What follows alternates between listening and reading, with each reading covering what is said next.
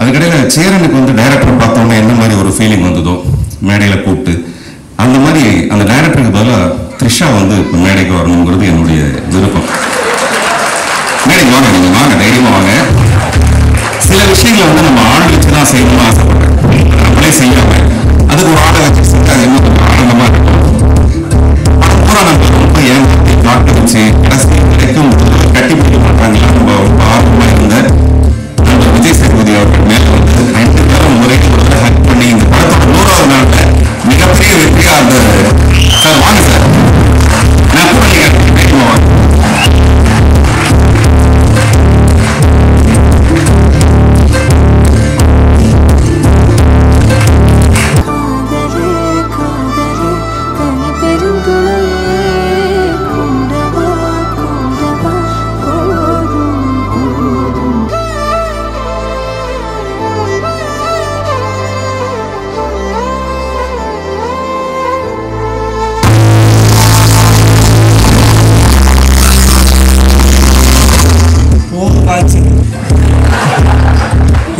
climax பார்த்தீங்களா